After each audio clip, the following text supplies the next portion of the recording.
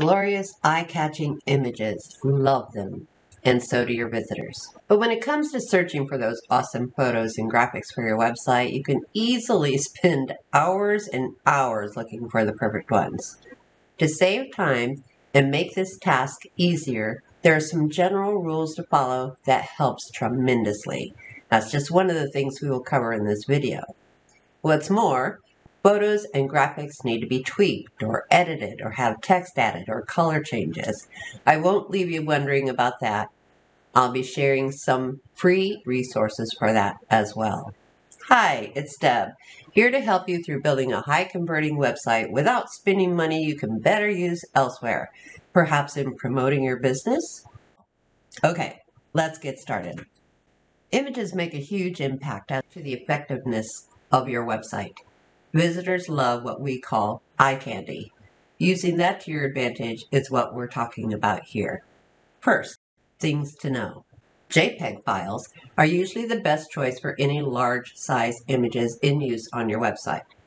The main reason being that JPEG files are smaller than PNG or PNG files and they load quicker. PNG files are higher resolution and better quality, but the trade-off is much slower load times.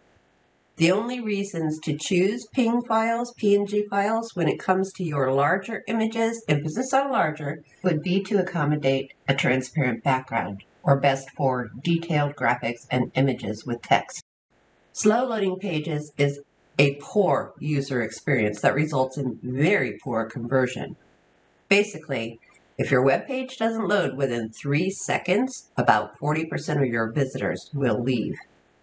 Let me clarify that it's much more than images that can cause your site to load slowly, but it can have a huge impact on it when your images are not optimized and compressed for speed. While we're on the subject of speed, let me just throw this in real quick. You can test your website pages with Google's Page Speed Insights at pagespeed.web.dev. Now let's discuss how to choose the best images for your website.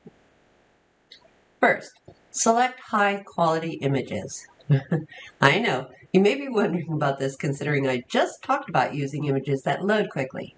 But your images can be cached, compressed, and hopefully optimized for SEO, but that's another topic we'll address in another video. Two, your images need to be relevant to your copy. Images are meant to assist your copy or draw the eye to it.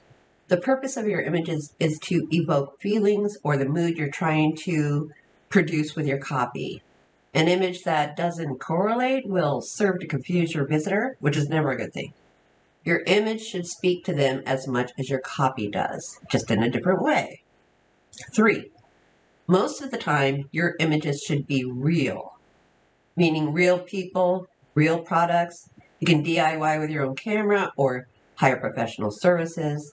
Stock photos are an option, of course. If that's your only choice, try to get ones that don't look cliche or have blurry backgrounds.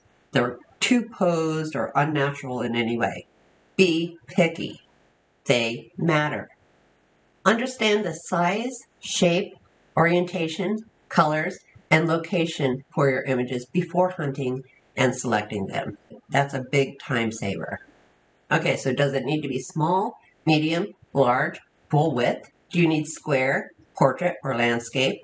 The big full width images are called hero images and the sizing is ideally between 1600 and 2000 pixels wide, but that's not a die-hard rule.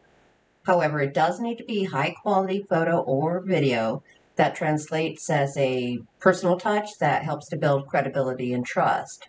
Since people are highly visual, your hero image needs to create a positive first impression.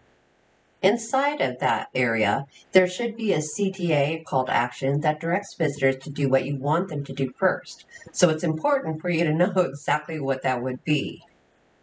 Note, you very rarely would need an image larger than that. Where would the image be used on your page? Do the colors in the image fit nicely with your website colors? Would it need to be cropped? And if so, would the focal point of the image still be in view within that crop? How much space would it take up on a page? Would it need to be compressed? If so, your Smushit plugin, if you have that installed, would help greatly. But for higher compression, you can use free services such as imagecompressor.com, iloveimg.com, which also has a photo editor, or tinypng.com. There's others. You can you can Google it.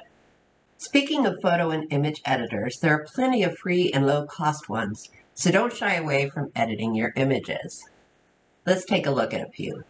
Canva has a free and paid service. It's user-friendly drag and drop interface and is well stocked with royalty-free images, templates, and a lot more. But you can use it to manipulate images, add copy and other elements as well.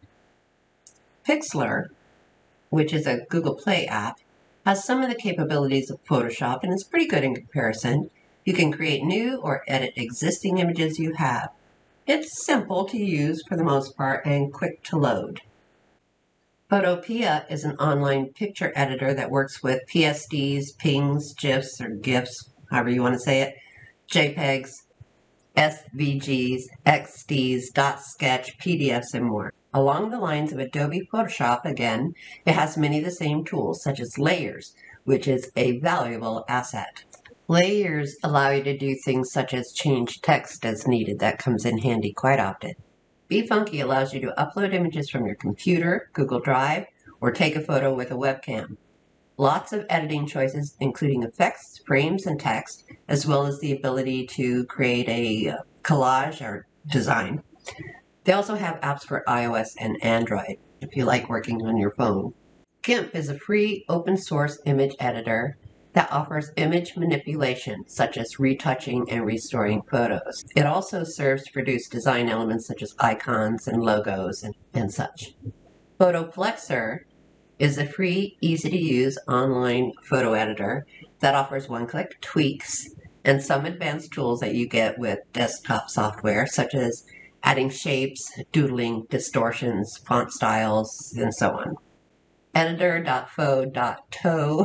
editor photo, is, is an easy to use online tool for uh, cropping, resizing, and rotating images to suit your needs. Lunapic, I love these names, Lunapic, is another free online photo editing tool that doesn't require sign up to use, which is cool. It offers a variety of editing tools, effects, and filters, as well as artifacts such as watercolor and sketch. Okay, so that's just a quick roundup of images and photos for your website. I hope it helps you out. Let me know in the comments if you have any questions or need help. Thank you for sharing your time with me. Always appreciated. God bless.